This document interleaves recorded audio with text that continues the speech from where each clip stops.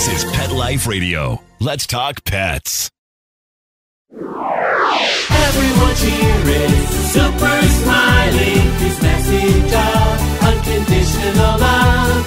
Paws in the air for super smiling. Here to save the day. We begin now. Hi, everybody. I'm Megan Blake, dog trainer and the pet lifestyle coach. You're now on a super smiley adventure where you come for pet information, inspiration, and integration of all things you can use and incorporate to enhance your life with your pet. Our show here is named after my dog, Super Smiley, a rescue dog who was abandoned three times on the streets of downtown Los Angeles. He survived and he inspired the world's first kindness program teaching kids kindness through pets, the Super Smiley Project. We traveled the country speaking to thousands of kids about the lessons pets can teach us. As for me, I'm the pet lifestyle coach and dog trainer, and I work as more than just a dog trainer. I have four lifestyle areas training, travel and adventure, exercise and health, and dog wisdom. What can we learn from them? How can dogs inspire us? And our guest today is so perfect for this adventure. He's one of the brilliant actors on one of CBS's top series, SEAL Team. And right now, it's my very favorite show on television. But what many people don't know is that Justin Melnick is a real life police officer who trained the dog he works with on SEAL Team to work in real life as a police canine as his narcotics detection dog. And there's more. Justin's also served as a combat photographer in Afghanistan. He is the real deal. I'm beyond honored and excited to introduce you all to Justin Melnick. Welcome, Justin. Thanks for having us today. Dee, say hi to everybody. Hey, baby. Hey, baby. We're on Zoom and I can see Dita. She's so beautiful. But Justin, before we even start, I want to thank you for your service in Afghanistan and here in the United States as a Well, police I was officer. I wasn't in the military. I was a freelance photographer. So you can say that thank you for the men and women of our country that gave up their children's birthdays and anniversaries and went over there. But I appreciate it. Absolutely. We salute all of them. But I also want to thank you um, for your service as a police officer. Can I thank you for that? Of course, just a job. Thank no, you're you're so humble. Thank you so much. Now, and you've already had a super full, fascinating, and unbelievably unique path in your career. So let's just start a little closer to the beginning of SEAL team work. Because of your background, you were initially brought on SEAL team as a consultant on the show, military consultant. Is that right? Tell us what that is and what you did. we ended up on the show because they needed a dog. And Okay. Okay. and then the dog was supposed to be another character's dog on the show. And when I got there, they ended up just saying, You should handle the dog. So I Yeah. said, Doesn't that involve having to know how to act? They're like, You'll figure it out. so um so that's how the pilot started. And by the end of the pilot episode, the creator of the show, Ben Cavell, named my character. So when the show got picked up, I got a call from CBS asking, you know, how I feel about moving out to California and, and doing working on the show. And then uh, they brought me on as a consultant to do all the equipment for the show. There you go. That's what I was referring to. Tell us about that. that working just as a consultant for that. Tell us about that. You know, it, it's it's really fun because we've got the best props guys in the business working on the show, but the gear that we use is very specific to a very small percent of our elite units in the military. So I was able to gain access to them for them. So it just was really fun. It was not constricted to government contract purchasing and and we could kind of equip our team with the best gear out there. And so, were you working? Uh, give us the timeline. Were you were you working as an actor on the series um, while you were consulting at the same time, or did one precede the other? I've been in every single episode. Dita's been in most episodes. And it just kind of, you know, we never put the dog in the show if we don't need a dog. If the mission dictates that we need a dog, we'll bring the dog. Everybody loves seeing Dita, and it's magical to see her on screen. She's a one in a million, and she uh, is now stretched out on the floor, sleeping on my fleece. Yes, and I love this that people don't realize they, they know she's a dog actor. They know that you're an actor on the show, but she is your personal dog. What's it Yeah. like to work with your personal dog on a television set like this? It, it, you know, forget TV show. Imagine getting to go to work every day with your best friend. And, you know, the magical thing about Dita is she turns it on when it's time to go to work, whether it's Wow. on a police job or on playing a military working dog. But when she doesn't have her GAC on, her vest, and, you know, her gear, all she loves to do is play with people. So you know, she runs around. Everyone keeps tennis balls for her in their desk, and she goes to everybody and plays with everybody. And the amount of joy and love she brings and spreads, it changes a work environment, whether you're on a TV show or in, a, in an office. Dogs reduce stress, and most people, I've in my experience, have enjoyed having having her and other dogs around. So it's really nice. Absolutely. As I mentioned at the beginning of the show, Smiley has a program teaching kids kindness through pets. They they teach us so much. And I'm a big fan of Dita's. And whenever she does go into a dangerous situation on the television series, I always tell myself, she's just a dog actor. She's just a dog actor because we don't want her character to get hurt. She is she adds so much excitement to the television series, right? You know, it's not acting for her. It's all real. We don't fudge scenes. If Dita's looking for an explosive odor, she's actually searching for a synthetic narcotic odor. So, so we'll place odors out and let her search for them for the first couple takes and keep moving them around in different places to get all the cuts that they need. And then we'll put it at the indication spot where we want them to indicate, you know, that there's an IED or something. And then she'll go and she'll indicate it's real. It's a hundred percent real for her. It's, you know, one of the things that I always was able to justify on the show was this was the best training that a dog could get. And, you know, I'm not, a, I'm a dog handler. I'm not a trainer. I can work with my dog, but I could never take a new dog and get it to the level of Dita. You know, that's Dita had five main trainers throughout her existence that all specialized in very certain things, which which helped her become the well-rounded dog that she is. I love this. And you just touched on what I want to talk about next is that well, I want to emphasize what's so interesting here is that Dita isn't just trained to be a dog actor doing these, in quotes, behaviors. She is a real life narcotics detection dog for police departments. And we want to hear more about that real life work and her training right after this word from our way cool sponsors. Smiley, can you wait? Good boy.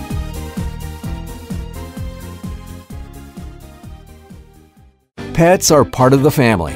Make sure you can always afford the quality health care they need with Easy Pet Check, a nationwide pet insurance alternative. With Easy Pet Check, you'll save up to 75% on all your pet's health care at any licensed veterinarian in the U.S.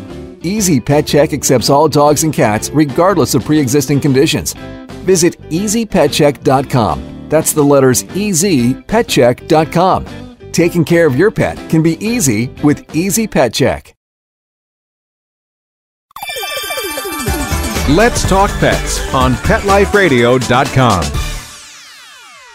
Everyone cheering, super smiling. His message of unconditional love. And we're back on a super smiley adventure with Justin Melnick, brilliant actor from CBS's SEAL team, war dog handler on the show, and real life police officer. Welcome back, Justin.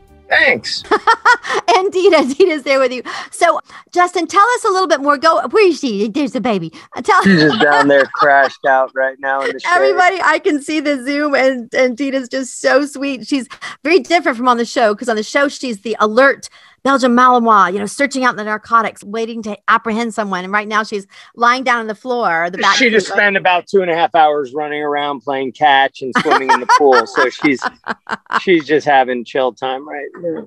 I love that. So, Justin, Dita works as a real life narcotics canine. Is that correct? Will you tell us about her her career? That's her pedigree. She's never gone in service for detection at this point, Okay. just because right before she was supposed to go in service, the show ended up happening. Oh. Um, so what her main role at our police department is now is basically school resource officer. We'll go into the schools, we'll do canine integration with the children and teach them how to approach dogs and what to do if they see a dog on the street. And, you know, Dita has her cute little routine where she helps the kids do math and she'll answer math questions and she'll answer whatever questions the kids want with a cute little bark. But really, you know, working in law enforcement over the past five years has been very challenging. You know, people have not had the best response to law enforcement over the past five years. So it's been really nice in our community being able to use the show and her fame to bridge the gap with our community and really get our community engaged with our department.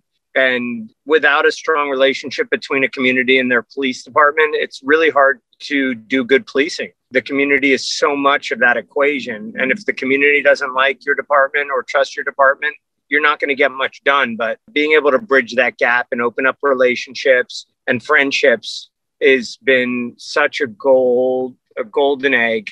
I love this. And as is the theme on our show, what you've already mentioned several times is how dogs can bring people together. I like to say that dogs can communicate on a level that humans can't even do. They can be better teachers than humans because they communicate on an energetic and on a pure level. That's what you're saying, right?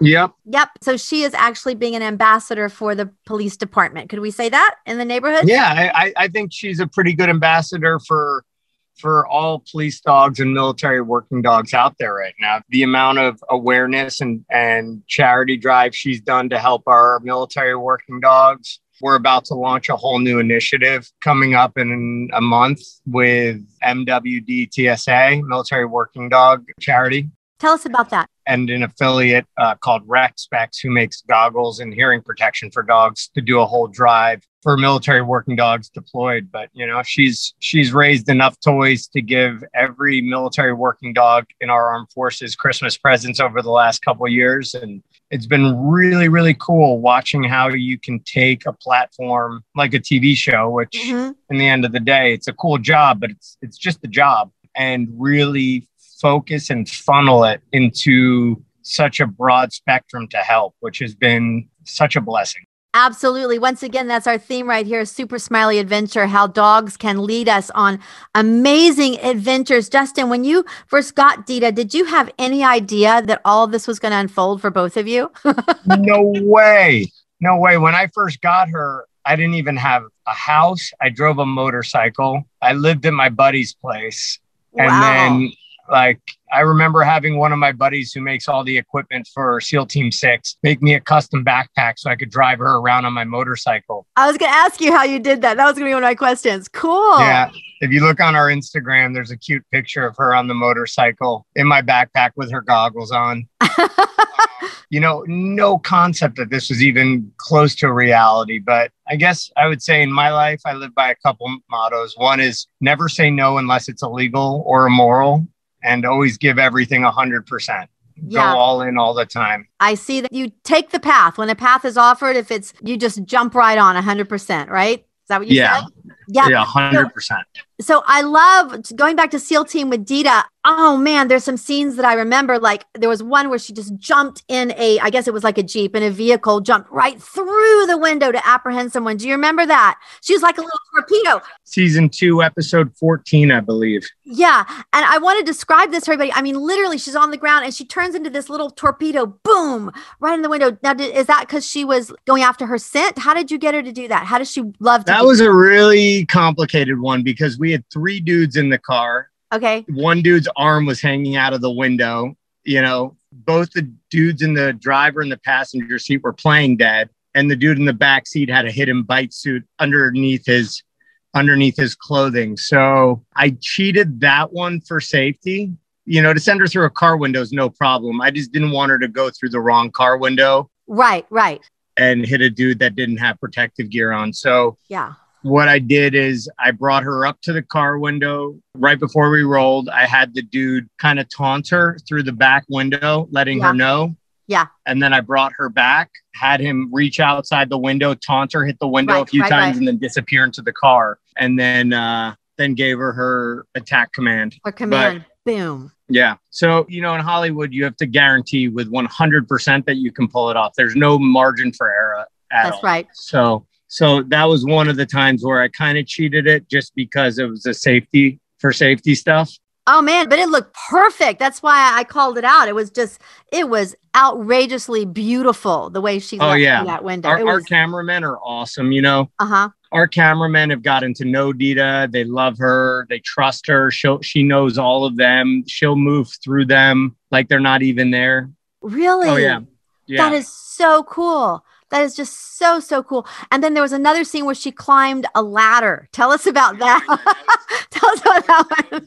that was probably my favorite. That was uh, season one, episode 14, I believe. okay. She, uh, the way we cheated that is I can direct her by lasers. Oh, cool. Okay. Uh, like so, if we're in a hallway, I can put a laser on a doorway and have her go. She knows how to open up doors, so she'll go open the door and go check a room. yeah. So I used lasers to direct her to all different parts of outside the building to check first, and then called her back and we cut. And then uh, I put someone with a bite sleeve up on the roof and had them climb through the window. And then I gave her her attack command and she climbed up and jumped through the window. And then all the interior stuff was filmed on a soundstage. So those were actually two entirely different days. Yeah. Okay. So you know, it's it's not about training your dog. It's it's it's about knowing your partner and knowing what motivates your partner and how to get your partner to do what you need them to do. Absolutely. So I want to make sure all the listeners understand this. Dita actually climbed up the ladder, right? Yeah. Did you know she could do that, or were you just yeah, of course. Okay? Okay. So you you okay? It was just so amazing to see, and she just went so fast. She was like boop boop boop boop boop boop boop. Oh Right yeah, Dita, Dita can climb ladders and open fire doors, and yeah, Wow. she's she's a clever little lady. She is, and you just you hit on something I was just going to ask about. You said you have to know your partner. So let's talk about the trust and the bond that you two must have with each other to do these things. Can you just share that with us? I mean, we do. You know, our specialty is high angle canine deployment, so it's Yeah. getting dogs in and out of helicopters, off and on buildings, rappelling off the side of buildings, and it's just a trust thing. You know, I mean, sadly, sometimes things go wrong, but it's only happened once out of everything. Generally, it's about trusting your partner and your equipment. Yeah. And I just want to relate that a little bit to our listeners because none of our listeners are anywhere near what you're doing. Smiley's actually a dog actor too, but the most he's ever done is work in Hallmark movies playing Raquel Welch's dog. So he does not he does not leap from building to building, although he does wear a red cape, his super smiley cape. So um as far as people at home, don't you agree that that is so important just for the household pet to have that bond, that trust, to be consistent with your dog? Can you talk to the listeners a little bit as to what they can do with their dog? Just the bond, the love. having a dog is is having a wife if you're a male and your dog's a female or a daughter and a sibling and an employee all wrapped up into one thing Wow. there are times i ask her to do some pretty crazy stuff and i always say that i i'd never ask her to do anything that i wouldn't do right beside her we've had some moments where we've been super scared together and we've worked through it. And we've had moments where we've been incredibly exhausted together and we've worked through it. We've had Uh-huh. moments where we've been incredibly cold and uncomfortable together and or incredibly hot and uncomfortable together. But you know the thing is is is like any teammate is if you're there doing it with them you develop a bond and a trust. And Yeah. And the more adventure, I know I've used that word a million times, that you have with even a human, with an animal. I also have horses and we did all kinds of things together. Kind of crazy. We actually, my horse was out in Santa Clarita for a while. Do y'all shoot out there? Mhm. Yeah, yeah, because I recognize the mountains where you are. Like I rode out there. That's where I used to ride. So that bond and just doing with them, having them trust you that you will go with them, right? Can you tell us? Can you tell us a story? I know I asked about the ladder and jumping through the window, but do you have something fun that you can share, or interesting, or something you learned working with her? A story? dogs read off of our energy they go. read off the Yeah. energy of everyone else.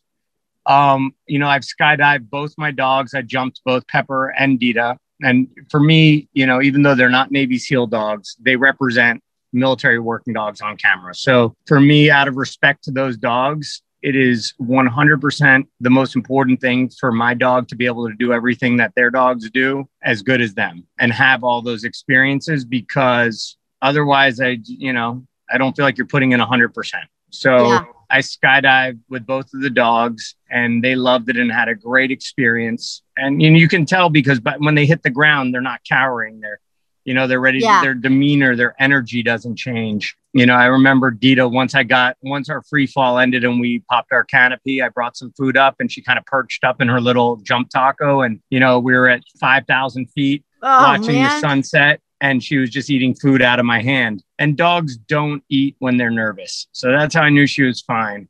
That is amazing. That's a And I really think that she had a positive experience skydiving because we were in a recreational plane jumping where everybody there had thousands of jumps. Everyone is excited for it. She wasn't picking up on any nervous Right. energy. yeah, yeah. You know, whereas if we were in a load with everyone that's first jumps and if people are nervous and scared, I think she would have picked up and not really enjoyed her experience. Yep, there you go. When I first have a dog training client, the first thing I tell them is dogs communicate with energy and body language. I know you would give that the thumbs up, right? A hundred Absolutely. percent. 100%. And Justin, let's talk about you for a minute. After being a police officer and riding around your motorcycle, um, what is it like being an actor with these amazing cast members on SEAL team? Just talk a little bit about your acting experience.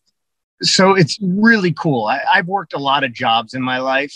I've been everything from a gas station attendant to uh, working in restaurants and nightclubs around the world to photography to fashion photography to combat photography. And I'll tell you, it's not just the cast, but it's the crew, it's the writers, it's the producers, the directors. Working with these 300 people for the past four and a half years has been one of the most incredible, inspiring experiences of my life because I'm around a group of people that A, have become family, but B, don't know what no means. They don't know what I, we can't do that means Yeah, yeah. no matter how crazy the script is that gets written, no matter how complex the scenes are, from the set decorators to the people who light it to the people who portray the characters, everybody gives 100%, 100% of the time. And the stuff that we accomplish and achieve is so rewarding. I can't say enough wonderful things about these people. And forget just the acting side of it. Everything that these people do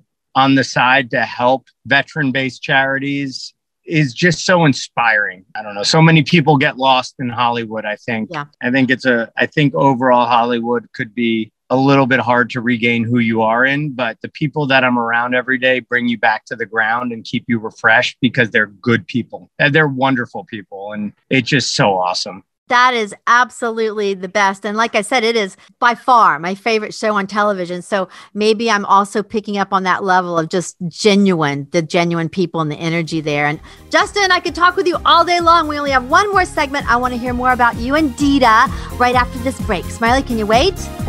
Good boy. Take a bite out of your competition.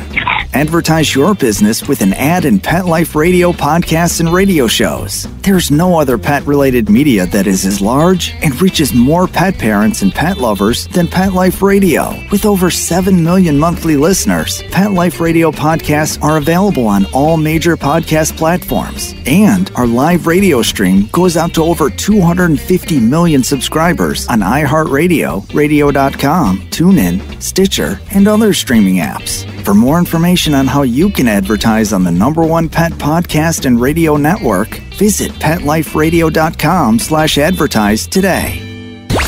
Let's talk pets Let's talk pets. on Pet Life Radio. Pet Life Radio. PetLifeRadio.com. Hi, I'm Amanda Seyfried, and I am on the Super Smiley Adventure. Everyone's cheering, super smiling. His message of unconditional love. We're back on a super smiley adventure with Justin Melnick and Dita, the canine team from CBS's SEAL team. So, um, Justin, for me, I believe I know that animals are healers and teachers, and I've learned so many different things from each one of my pets. I mentioned I've had horses and dogs and cats. So, what has Dita taught you personally in your in your heart? Everything. I mean, I'd never had a pet before having Dita. I never had a dog. I never had anything. It's interesting because 98% of the mistakes, 99% of the mistakes I make, she's always right on. You know, Oh, it's it's wow. it's learning. I think the best thing she taught me is how to trust. Just trust your partner. I don't have all the answers all the time, but these dogs are about right 100% of the time. Their instinct. Yeah, trust. They trust you, but you learn to trust them. We learn to trust them as Oh, well, yeah. right? I believe that they have senses that with our, in quotes, intellect, our mind, we've kind of dulled the real deals every once in a while. Do you see what I'm saying? you know, just having a day in, day out best friend that I can have these wild adventures with. We live life to the fullest together. And man, we almost died together the other day, but we, Oh, uh, you know, wow. we get through it together and we keep putting our paws in front of us. That's awesome. And and she has she you've mentioned your platform on SEAL Team. Both of you have such a big platform. I know she speaks in schools, or I say speaks. She's present there in schools. What do you think she would want to tell the world if she could actually tell us something? What what would her message be? Deets, you're way wiser than me, sweetie. What'd you want to say? What'd you say? She is zonked out right now. That's a really good question. I think watching her behavior all the time is Dita is a big believer in loving and she Ah. loves everybody and she loves to bring joy to people. Whether it's a two year old that wants to pull on her ears and tail, she'll lay down and totally tolerates it. Or, you know, whether it's an adult who's having a bad day and she just senses it and she'll walk over and put her head in their lap. Yeah, yeah, it's awesome. She spreads so much love to everybody, which is probably one of my favorite things about her. And what you just described also to me, the word that came to me was that she's present. She really is present with everybody. And that is certainly a lesson that we humans could take to heart. Just just being, like you talked about, walking your walk, one foot in front of the other. And speaking of having a voice and mission for the world, you, Justin, um, you've worked with the school safety programs, and I read about end of watch to aid families of fallen police officers. How can we help your missions or keep up with you or or support you? What do we do? So I started End of Watch before the whole Hollywood thing kicked off. And then I kind of just didn't do anything with it because I realized I could help way more with other charities by helping get behind 15 other organizations than just having my own. In the end of the day, as long as we're giving and we're helping and being part of the solution, that's all that matters. So End of Watch doesn't really exist anymore, but you know, people want to get out there and look for their local law enforcement charities to help families of fallen law enforcement officers. I encourage that. These these men and women are out there every day keeping us safe in our in our neighborhoods and and they're willing to put a, their life on the line no matter what the public's view on law enforcement is. They're still putting on their uniform and going out there every day and giving 100%. I love I love that you said that. Our local wherever we can give help and support. I love that, Justin. And thank you again for your service as a police officer and for bringing Dita to the world on so many levels, the entertainment, the service, the inspiration and um thank you for everything you do. Thank you for joining us on a super smiley adventure, Justin. Thank you. Thanks And for Dita, having us guys. Take care. Thank you, Justin. And to all of you, everybody, you can reach out to me here at Pet Life Radio or at I'm Megan Blake, dog trainer and the pet lifestyle coach. And everybody, I teach a free group dog training class on Zoom. It's Sundays at 4:30 Eastern Time. You all can meet with me live. I started this as a project as a public service during the pandemic. We've been covered on Spectrum News and it's working really, really well for all the pandemic and for everybody who joins us. You can email me for the Zoom link and you can find everything I'm doing, all my dog training videos, social media. It's all on my website at meganblakeofficial.com or at webeginnow.com. Thank you again to the amazing Justin Melnick and to beautiful, beautiful girl Dita. Thank you to our super producer, Mark Winter, and for our fabulous bumper music that he composed and performs. And to everybody who loves their pets, thank you all for joining a super smiley adventure. And remember, wherever you are with your pets, we begin now. Let's Talk Pets every week on demand, only on PetLifeRadio.com.